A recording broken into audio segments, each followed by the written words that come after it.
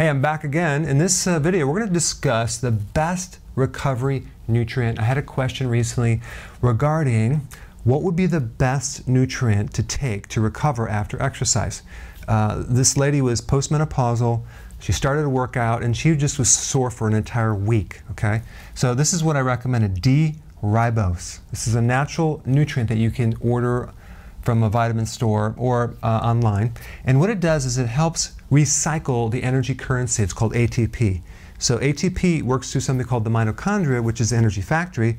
So this natural remedy is kind of like the precursor building block to build more ATP to help ATP work more efficiently so you can recover faster in the skeletal muscle and even in the heart muscle. So let's say, for example, you had heart surgery you would want to take this. It would really uh, make a difference. Or if you had fibromyalgia, like a real true fibromyalgia where your muscles and collagen are, are inflamed, this is another thing to take, or chronic fatigue syndrome.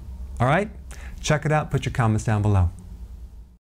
Hey, before you go, if you're benefiting from any of my content, I would love to hear about your success story.